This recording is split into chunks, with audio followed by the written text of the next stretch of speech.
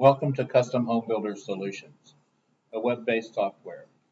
Also known as CHS, a standalone accounting suite focused on job costing and profit management for professional home builders.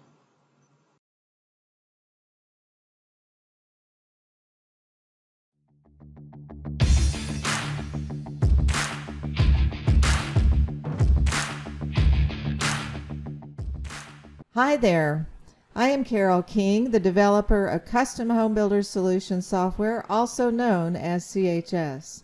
CHS is a job costing and accounting software that is custom designed for home builders to bring you and your team members in your back office and in the field together. This picture of me is to show that I have an independent streak that probably like most builders makes me want to be my own boss and not to be required to wear stuffy accounting suits. So you know I really get not wanting to be told what to do, but one thing that I have learned over my years of working with home builders is that there are some rules for best practices that are very essential for success in your industry. And the thing about it is that if you will follow those best practice rules, you will end up not being a slave to your business and you will end up getting that independent freedom you deserve. I'd like to start off by talking about some goals for seamless performance of the construction process. And I have borrowed some words from the well-known home builder consultant Joe Stoddard, who works with NAHB, teaches classes at NHB, and contracts with various builders to advise them about their seamless performance. And he said some of the goals are accurate and timely job cost accounting, minimal misunderstandings with your trades and suppliers, less field work to code and approve bills from trades and suppliers, deliveries on time, really importantly, happy customers that will recommend you with high praise, and having employees that are happy with their environment so that you have low turnover, and very importantly, meeting your expected gross profit goal. There are two terms you'll hear quite often when you're in custom home builders' offices.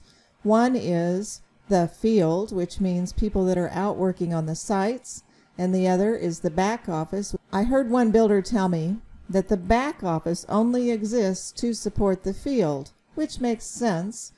If you didn't have people out on site or any jobs, there wouldn't be any need for a back office. And I'm going to focus in on these top three goals and how CHS can help you seamlessly have the back office and the field communicate without the field driving to and from the back office to do things like code and approve bills, etc. So here's the thing, as a veteran bookkeeper or controller in the back office of a custom home builder's office for quite a while and then being in many offices, this is a nightmare scenario in a way for me. One of the biggest time eaters I have seen when I worked in and have been in other back offices is that project managers or the big boss even has to code and approve payables bills that have been turned in by trades and suppliers. A big stack of bills has been sent out into the field or the project manager has to come into the office to do this. Or, oh no, the project manager is carrying around the stack of the bills and it's getting, they're getting lost under the floorboard of his truck. And then the back office, like people like me, I've become very impatient about getting those bills back in order to post them in time to figure out how much money to draw and to get them paid by the day we said we would. According to Joe Stoddard, project managers need to spend their time on the job site and should not be driving back and forth to the office to code and approve invoices, only to have the payable staff or the big boss still calling them and interrupting them for more information. He says that the only responsibilities regarding payments to trades or suppliers that the job manager should have are number one, verify that the work or supplies are properly authorized before work begins. Number two, communicate with the home office that the work or supplies are complete and in place. And number three, approve payment of unpaid job cost bills after they are posted and not before. Now I'm going to show you how CHS can make all of this happen and keep that job manager on site without ever having this great big stack of payables bills on their desk or that they have to come into the office, etc. Let's keep them in the field. Okay, here's one of those spots where you're going to feel like you're being told what to do, but I can't tell you how important this key to keeping the project manager on site is. I will be paraphrasing Joe Stoddard, a former home builder and general contractor who founded Mountain Consulting Group, and you can see more information about him at the bottom of this slide if you freeze it.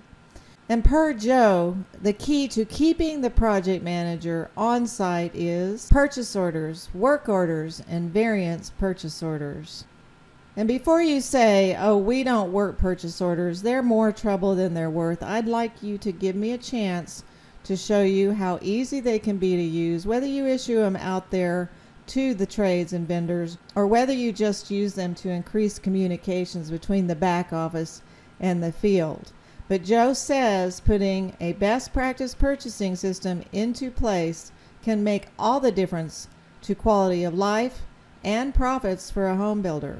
I will show you how using purchase orders or work orders along with implementing a best practice purchasing system creates far less hassle, not more. So let's get busy showing you that.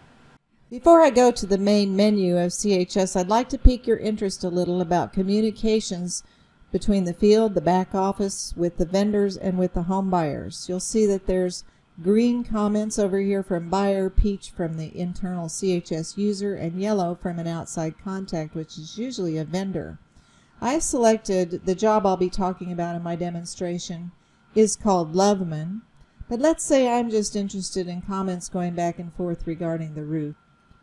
So now I just have filtered count of four, and let's go down here and see what the earliest one was. This is a bid request that we sent to Talent Roofing saying our bid request is attached. They got an email. They could click on something there and see this particular bid request. And in it, what I'd like you to note is that there's a link to plans for that would relate to the roofing in there for that request. Now let's see what Talent Roofing did. They said our proposal for the loop roofing labor is attached and it's yellow. It's from Talent Roofing and if I click on the attachment I can see that. And you'll see their whole entire proposal here. And I noticed that the color wasn't determined yet. So what I did was I sent a message to the home buyer named Jeff saying, have you decided on the color for your roof? And in green is from Jeff, the home buyer, roof color, Duratum.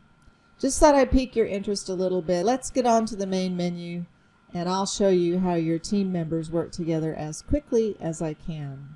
This is the main menu where you select things by expanding menus, etc. in CHS. And as I've been touting, this is a full accounting program. You can see where there's places for chart of accounts, general ledgers and financials like balance sheets, trial balances, journal entries, payables, etc. But we're going to focus right now on the intercommunication and not this stuff. In the very next video, I'm going to talk about the unique needs for home builders in their accounting and how CHS satisfies that. But let's just see how we can keep that site manager on the job. One of the very first things you'll be setting up, this is a job cost program. So you're going to need to set up your various cost centers like you like to have them. I'll open that in just a second. I'm going to open something called job stages categories, which is not your cost centers, but I need to point it out, and you should keep these simple. When you set these up, we supply some for you based on a simple one, but you can change these, delete them, add to them, etc. But when you set these up, please think of these as probably about the time you might be taking a draw. If you are a home builder who should be watching this, you will understand what stages and phases are. You'll see why I pointed that out in just a minute. You'll be able to use these to group your estimates and budgets by stage instead of just by those cost centers, to do weekly status reports, to start a new job schedule, etc., etc. So I'm going to click Cost Codes Master. What this is, is a list of all your cost centers. that you are interested in having when you do job budgets, when you're posting bills to pay, when you're creating purchase orders, change orders, etc. These will be used across the board in CHS to compare all of those various things and to calculate what your current estimated costs at completion are today as things change, which we'll see a little bit in this video. You can load the NAHB recommended cost codes. Click this button. You can see a report of them and then click a load button and use those and then change them, delete them, tweak them, change the grouping titles. See these various grouping titles going on. How you like, add to it. Or you can just start setting up, start adding in some groups and then adding in new cost codes. The reason I'm here is because when you set up these cost codes, you will be, let me get down here to a better place. I like to show plumbing. And notice here this stage thing, and he has three cost centers, rough, top out, and final. But if you hover over the stage, you'll see which stage those are in. In other words, they happen at different points in time during the job. This becomes very important to have the stage attached because you can issue things like purchase orders up to a certain stage before a stage starts and request certain purchase orders for a stage or approve work done through a certain stage. These are default pricings. This is not a budget. These are you setting up your cost codes. And behind these cost centers, in order to keep them from being too detailed because you don't want to drive your bookkeeper nuts with just a jillion cost centers, is you can create items that you can select from when you're doing a job budget or estimate bring these in. You can elect to bring the items in behind the cost center and then check mark which ones you want to use.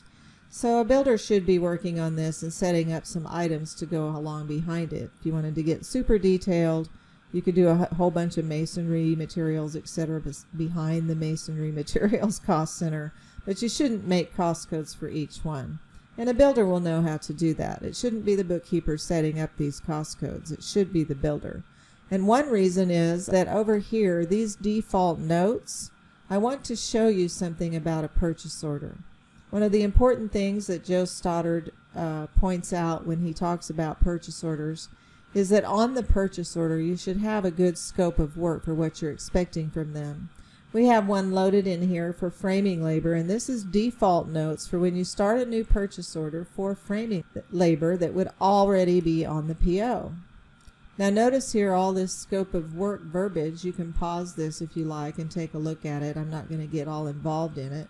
You could also upload an attachment that is a scope of work that would get automatically attached to the purchase order itself. But this is your first point of communication is that you, when you issue a PO, you're of course agreeing to a price, which we'll see in a little bit, but you're also telling them what you expect from them. When these drop into your purchase orders, you can change them to be related. Quite often in the in the verbiage is as per your attached bid, which I'll show you how that gets attached to the PO also, and maybe some plans notes. So I wanted you to know that you should spend some time maybe setting up some default notes that you don't want to have to keep retyping um, to show up on a purchase order. The other thing to set up is, uh, just for example, Plan costs architect fees this builder likes to base on living square feet. We're now going to jump over here in a second to show you opening the job and how you give specs to the job and use the same default measures so that when you open a new job budget, CHS will look to see if there, for example, for this, for living square feet, if something has been entered as a spec for the job, and drop that in as the quantity on the new budget. And it'll drop in the default unit prices and you can then start changing those as you need or once you get bids, etc. So there's some setup that the builder should do here that begins the process of the communication between the team members. Now let's take a look real quickly at setting up a job, the job setup screen by going to the jobs list.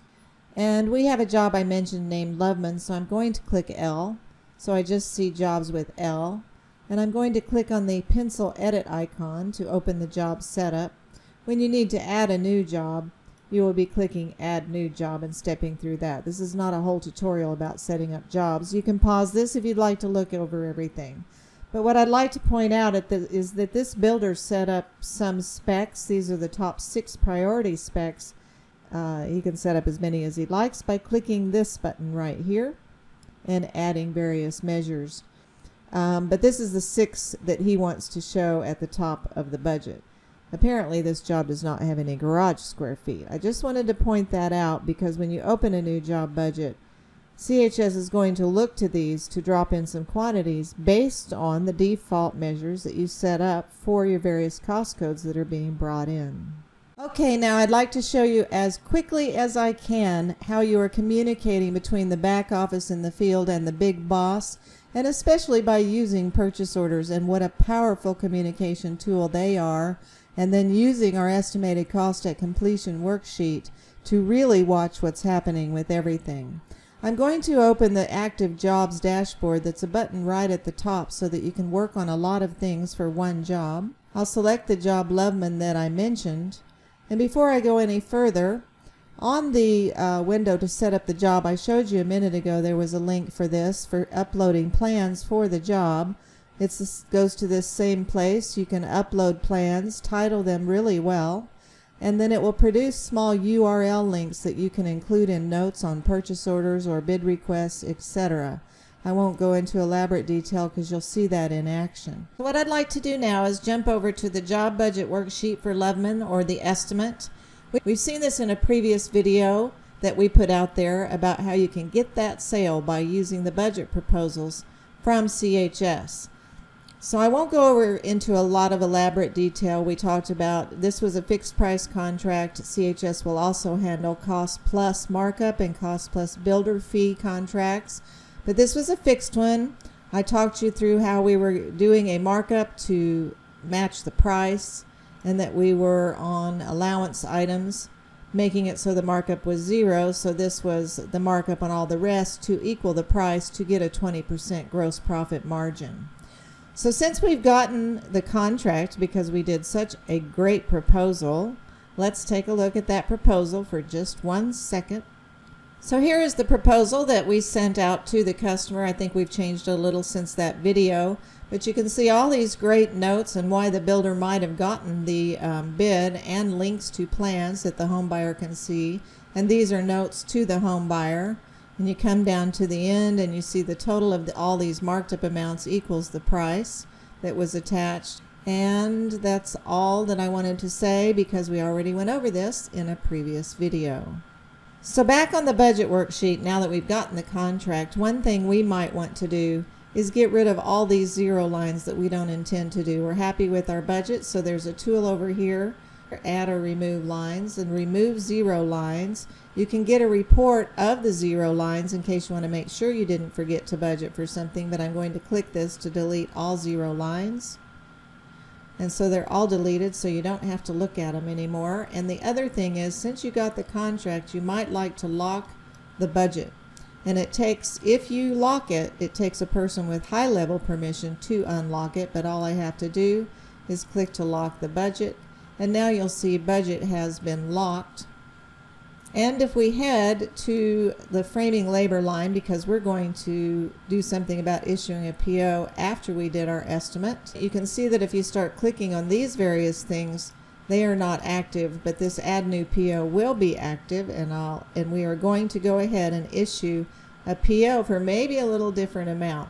I've jumped back to the jobs dashboard for Loveman and I'd like to open something called the estimated cost at completion worksheet because it is the biggest communication tool between the back office and the field about the job costs and where they're heading.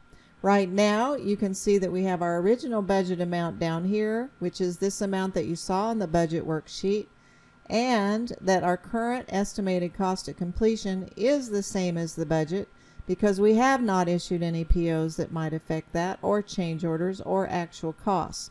We're going to be jumping back over to this so that you can get a good idea of how much value there is on this estimated cost at completion worksheet as we do a few POs and enter a couple of bills here. So I just wanted to point that out that it's now open in a tab up here and I can jump back to the budget, jump back to the jobs dashboard, etc. So now let's play like we're the purchasing person, whoever that might be, the big boss, the field, or whatever, and that we need to issue some POs for various things, bids that have come in, or just based on our general knowledge, talking to them, or however you'd like to do that. But I want to get two or three POs issued. You can see that right now they are zero, the POs that have been issued. And the first one I'd like to do is for framing labor. We're going to go way out of order. But you can see here, if you look along the PO line, which ones you've had issued POs to or not. But I did an F for framing labor just to see the things that have Fs on them for starting them. So here's framing labor. And I'm going to do plus PO. Tells me didn't find any other POs and did I want to continue. Since it didn't find any others, it brought in information from the budget, which was the quantity, frame square feet dropped in, when we did the budget because of what I explained earlier, a unit price of 12. But what I'd like to pretend is that for some reason, even though we did not get a bid from this particular vendor because we work with them always and it's usually $12 per framing square feet, this time we did get them to agree to have it be $11.50. And I want to show you that now the total is 29 instead of 31 something that is showing back behind here for the budget. Now here's how we communicate to everybody in the field. This is us saying we are going to use a cost of framing to do the framing. So now there's a way for everybody in the office to know who's supposed to be doing the work and I'll show you some other neat things about that in a minute. But this is how fast I can go ahead and create this purchase order. I selected it, changed the price a little, and the purchase order features have been added in. And remember what I said earlier, you could set up some default scope of work notes that would drop in. They came in here for framing labor, just like I showed you. So these are these are ready to be put on the PO, but I could change them however I like. I might be putting something at the top about as per your attached bid, but this one we don't have a bid.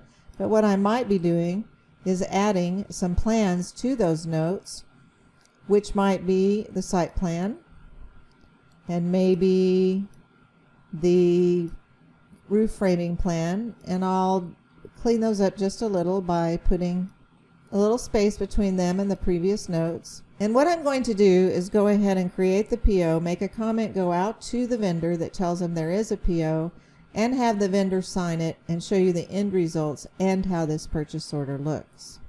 After issuing the PO and storing a hard copy and sending it out to the vendor, I have returned to the estimated cost at completion worksheet. And first of all, what I'd like you to see is that there's a green comment bubble here. I'm going to click it. And you can see that related to that particular cost code 3150 for framing labor and the job Loveman, we have two comments or communications going on right now about that framing labor. The first one is us sending out the purchase order, and if I click this paper clip, you would see it. But the second one is that the vendor received it in an email, used our green reply button that said they could also sign the purchase order when they received it, and they did, and I got a message that CHS automatically triggered when they signed it telling me that they had signed it and that if I click right here to see the purchase order we can now take a look at the whole purchase order. I just didn't want to take up too much time. But notice at the very bottom of this he has signed it. I signed it when I put it out. And let's take a little bit of look at this. Now I want to tell you that I could have changed this, but I did it too fast. I should have changed the style to say work order. You can do that right before you print it, but I didn't. But it could be saying work order or any other style that you'd like to have up here if you don't like those words. You can set up different styles that will change the title and will also change some other verbiage that you can set up in your style to be a footer for your PO. This uh, builder likes to get elaborate about what he expects on every PO and puts it in and when it'll be turned in and how use constitutes acceptance, etc. But you can set up all your own verbiage that would be at the end of purchase orders or work orders and various different styles. These notes right here came in. I showed you the scope of work that was going to come in, but I showed you that I added um, some plans to those. And if I export this to my Adobe Acrobat Reader, it has to be in a reader for those plans to become really active. And you can see I have an active hand now. Um, I'm on my local machine, so those really aren't uploaded out there on this local machine, but your vendor would be able to click on the, those and see the plans when they got the PO. So that's how a purchase order looks and how you can look at all of that once you're on the ECC. We call it the ECC worksheet. But the other thing is here we have total POs that are now less than our budget, right? Because we got 1150 instead of 12 and we see total POs here. So I want my estimated cost at completion to be this because we're not going to pay that $12. So if I check mark this to use the lower POs as my ECC, you see that my ECC changed to the PO amount instead of the budget amount and that it's showing minus 1304 over here. And so as of now, as soon as we issued that PO, we know that we are heading under budget by 1304. We don't have any actual posted costs yet, but we already know we're going under. We don't have to have some actual costs posted to see that. I'm going to enter a couple of more POs pretty quickly, and we'll talk about those and then how the field can get on and approve those as work done, and the various messages about overages and unders and settling disputes happen when the bookkeeper is entering the bill. I've reopened the budget worksheet to show you how I can create a PO from here and did a keyword search for tub and searched for it so that I could get down to K-tops and tub allowance and I'll click on that. What we're going to talk about is how we did get a bid and it's uploaded and attached here. But let's go look at edit vendor bids for just a second for this particular cost code. Now you might have several here and then you decide to use this one for the budget, which I did before we did the proposal. I did have this bid in. And so now I would like to issue a PO just from here so that it would attach this particular bid that we got from them and I'm going to show you that in a minute. So you can see that there's an attachment all ready to go for this PO and it has 6300 there. And if I look at their bid, we're going to have an issue with this when they send us a bill for more than 6,300. So it's really great that the bookkeeper is going to be able to drill down on this and see this. So we already had all the vendor filled in and the amounts, but what I'd like to do is I know there's items back there, and I'd like to use items on the PO instead. So I'm going to check mark these to use the items and update the PO amount to use those items when it's printed.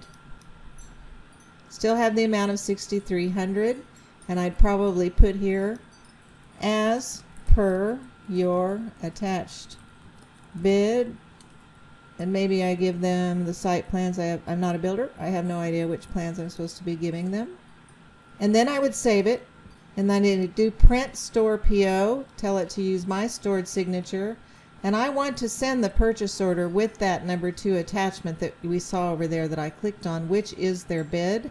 And I will do all of this and come right back and show you the finished PO. So now we're back on the estimated cost of completion and you can see that we did issue a PO. It is kind of fun to do the POs from here. If you're trying to issue a bunch of them, you can see which ones you've done and which ones you have not. If I drill down on the comment again, you can see that they sent it back signed. If I click to open this purchase order, you will see it with its two items and a link to the site plan, which if I sent this to Adobe would be active. And this is a link to their comments attachment that is their bid. So let's just stick a pin in that right now. You can see how many POs there are. And I'm probably going to go issue a couple of more POs and I'll be right back. Okay, I'm back on the estimated cost of completion worksheet after I've entered several more POs. All of them are for the amount of the budget because I was using bids to do the budget and was issuing POs to match those. I'd like to show you a quick way to look at everything that has happened, and that is to look at the file cabinet of uploads for this job and cost code. Notice that we have the Ferguson Appliances bid that they sent us, so we could look at that. For appliances is the one that I clicked on. We could look at their bid if we want to right away to see all of the things that are on their bid. Also, we see that we have sent and uploaded a hard copy of the purchase order that you just saw. You can take a look at the purchase order right here, the hard copy of the purchase order. On the cabinets right here, if we look at the uploads, I'd like to show you a purchase order. This is a PO. We sent a PO hard copy. And here is the PO hard copy. with a list of a bunch of items that we probably got on their bid, but because I'm not really the builder, I don't have all copies of the bids. I'm using some information from another builder that was kind enough, but you can see how that PO had a list of all the items. I'm going to get on and go ahead and issue a variance PO for something that happened. Notice that up here we have a slab contract PO and we had plumbing going on.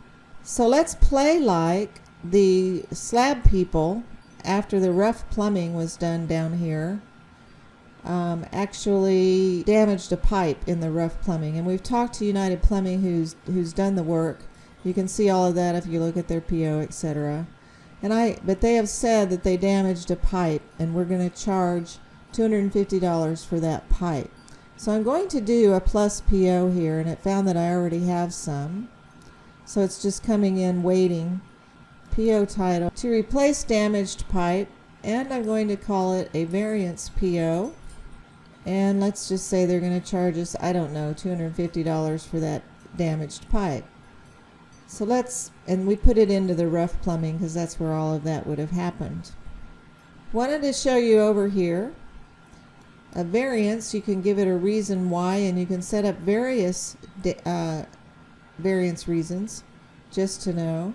And I typed some internal notes. We are back charging big buck for the damaged pipe so I'm going to select Big Buck Construction and I'm going to enter an amount and we'll charge them the whole amount. It says enter a positive number. And then I'm going to save this PO. Close that. So you'll see right here where rough plumbing is, we're seeing a variance PO and that we're headed over by 250. But let's see what happens if we take a look at the notes behind that to investigate. Notice that we can see the two POs to United Plumbing. We are back charging Big Buck for the damaged pipe, so maybe we won't worry about it too much. Because what I'd like to show you real quickly to go with that is if we go home, post new payables charges from scratch, and we've got that bill from United Plumbing.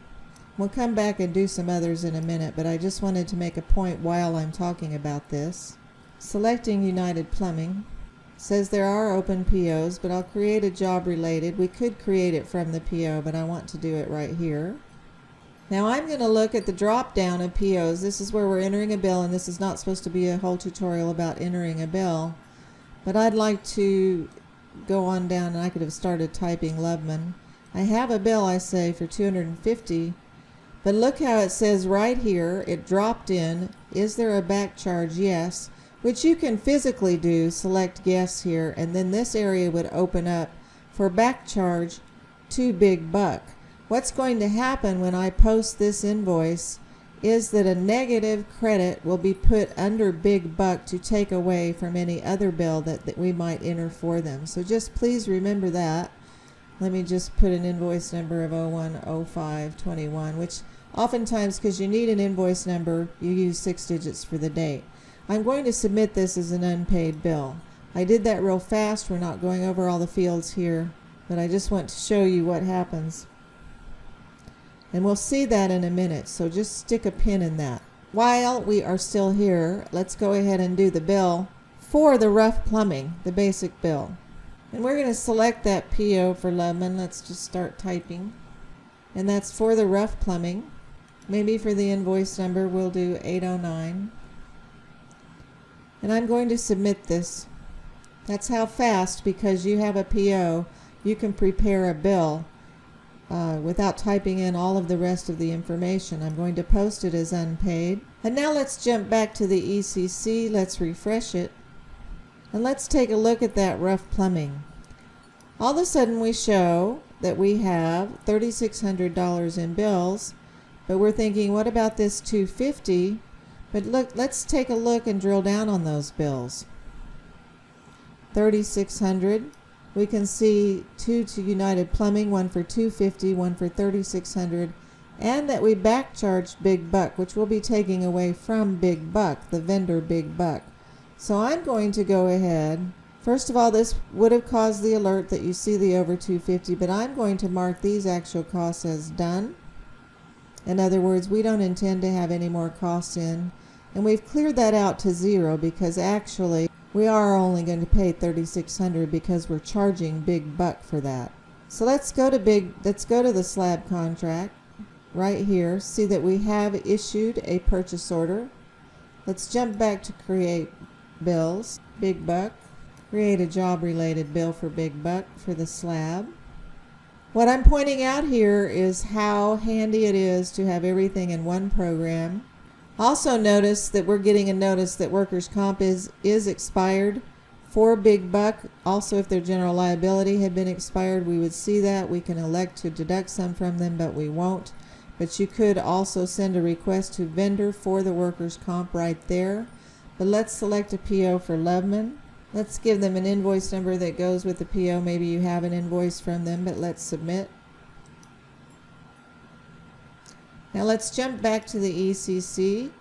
Let's refresh it for the slab contract. We see it's 34,400, 34,400, and we know we're not going to pay them anymore, so we might as well mark that as done, those actual costs.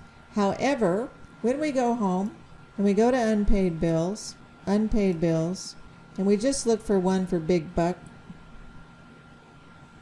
I want you to notice that this is the screen where the bookkeeper would select bills to pay and that there's a minus $250 here for Loveman to take away from what we were paying big buck. So when we cut this check, it will be for 34 150 and this is all caused, all this communication, because we had that variance PO, because we had another PO for Big Buck, you can see how quickly I was entering the bills. Now I know that this video is getting long, but if you are interested in purchasing CHS, I think it would behoove you to see everything that it's doing that QuickBooks can't do for you. So I've opened the jobs dashboard for our job Loveman and I'm going to go to a purchase orders list or management, POs and cost management. You can narrow down your POs list to a set of vendors, a set of cost codes, and you can say I only want to see everything through a certain stage. So you might go up here and say I only want everything through foundation. I just want to look at POs through that because I am being the project manager and I am coming in here to let the back office know what work is done on various POs. Now, if you'll notice here, we're seeing the PO total and we're seeing posted costs. And you have seen me enter the posted cost for this, so the amount done, PO is done. There's no amount left here, no PO remaining amount. But right here, there's a PO remaining amount for framing labor for 29992 and I could just create a bill from that, which we'll see in just a minute. But here's the project manager saying, okay, the framing labor is done, but I want to charge them a little for site cleanup. So I'm going to charge them maybe $200. And I'm going to type, and I'm going to save this. Now this is the field talking to the back office right here. First of all, that the work is done. So the bookkeeper might decide to create a bill from this when they come in because they can check mark yes to only see ones that work is done. And they can also just see open POs. So if I check marked that, this wouldn't show anymore. But I'm not going to do all of that right now. So let's do the create bill from here. Looks like their general liability and workers' comp is expired because I have old stuff in here, but we're just going to ignore that. I could have sent a request right then for their general liability certificate again. But look how everything has filled in here for 29,792. If I do the drop down to take a look at it, it's 29,992. And what I'm going to do is wonder about that. And I might click on PO status and approval notes, and I might see charge 200 for site cleanup. But I'm a very diligent bookkeeper. So I want to see those separately so it's clear to the vendor. So I'm going to reselect that PO so that it's 992 and it's telling me someone's posted an amount to deduct from this PO so that I might want to look at those notes. But let's go ahead and copy this line so we have a second line and we're going to do, we know we're going to do minus 200 and we're going to do charge for site cleanup. right here, but both of them are attached to that PO.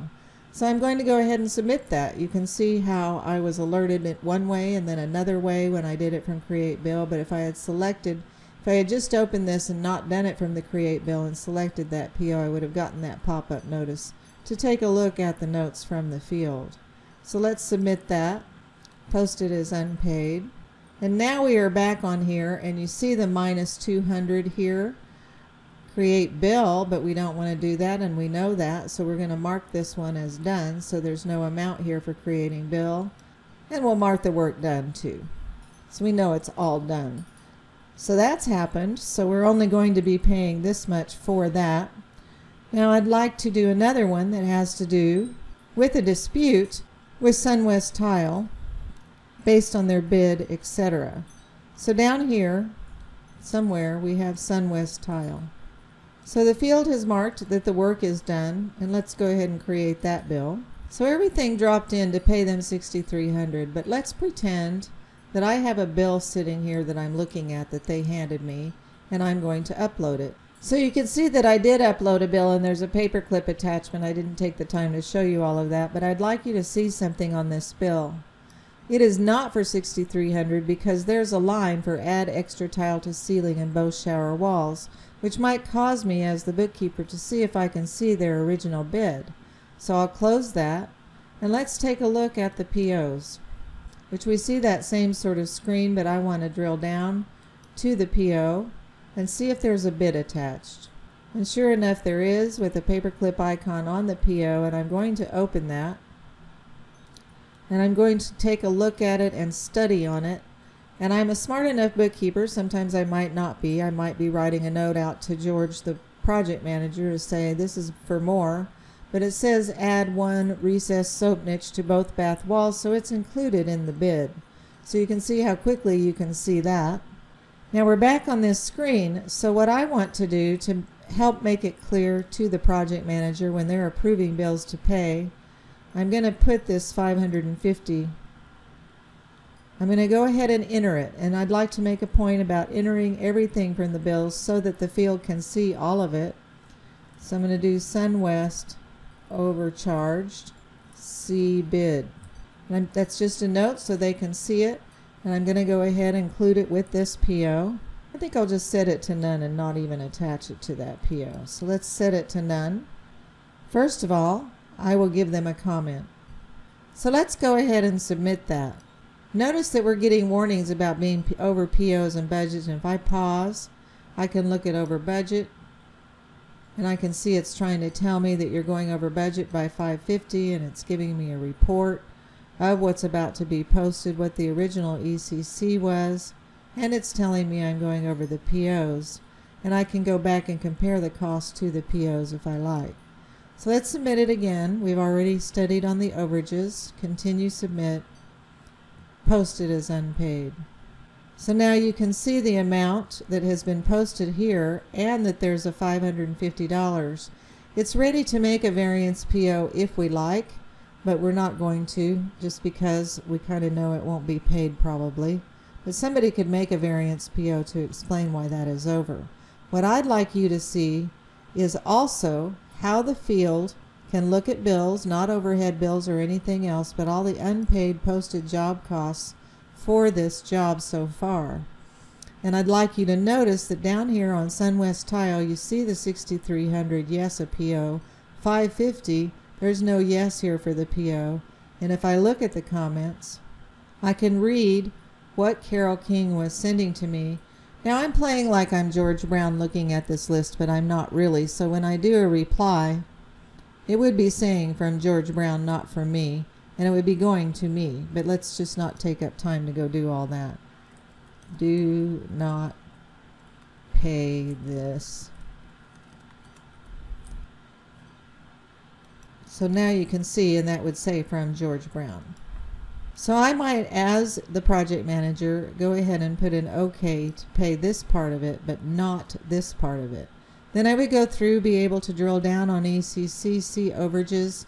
For example, if I drill down on the ECC for this one right now on SunWest Tile, I would see this part also, about how it's headed over by 550. Now what can happen for the bookkeeper when they are selecting bills? Back over on the home menu, unpaid payables, unpaid payables. We're looking at all the bills and we're scrolling down and we're trying to decide on ones that we're going to mark to pay. But notice how we see OK1 and beside you can select all to pay that have been marked that OK2 is OK. The big boss can see all these with the overhead bills, drill down on ECC and everything else and put an OK1 here if that's your procedure. These are not required, but they're certainly handy to be able to see that this has been approved, but this has not been approved, and that there's a comment, and if I open it, I'll see George telling me not to pay this. So what I might decide to do is delete this right now, or I might go enter another bill for minus 550 just so we have a trail of all this saying not paying that we send to United Plumbing. So I would have three lines, a plus 550, minus 550, and 6300, and only pay 6300 when that check is cut and I check mark it to pay in a check run. I wanted to show you how handy it is to be able to upload all those things while you're entering bills, how much you can see, and how much you can warn the field about what is going on before any of this gets paid.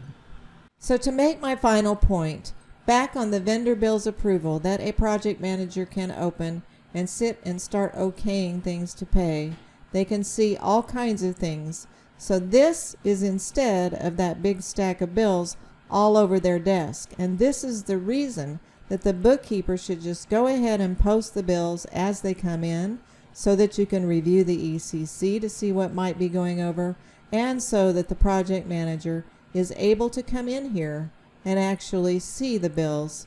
For example, on that SunWest tile, remember we uploaded a copy of their invoice and there it is that had that overage on it and they can drill down on the POs and the POs and costs and the ECC and see everything about what is going on. They don't have to run to file cabinets, look up, see what we've already paid, that kind of thing. If they do the ECC, they can see what actual bills have been posted and that they're unpaid and what the original ECC was and that we're headed over bid by this 550. Again, just to reiterate my point, this is the stack of bills that would have normally been on their desk but is now on this screen where you can write notes back to the bookkeeper where the bookkeeper can send you comments that you see in green so that you go, okay, I need to look at this, and so on. Back on the jobs dashboard, look at this vendors to use list. What this is, is based on POs that have been issued, and just based on the POs that I've issued, there'll probably be a lot more of them, this is a list by cost code of everybody who has been selected to do the work because we issued them a PO with all of their contact information. That'd be handy to print out and have on your desk or running around in a notebook that you have or that you're on CHS and can just get a big list of who all is supposed to do the work and what their contact information is. And there's just one more area that I'd like to show you, and that has to do with how handy purchase orders are for scheduling. I have opened the job schedules menu and selected Loveman and just did a quick start of a schedule that hasn't really had anything done to it. But let's take a quick look at the Gantt view of it for just a second.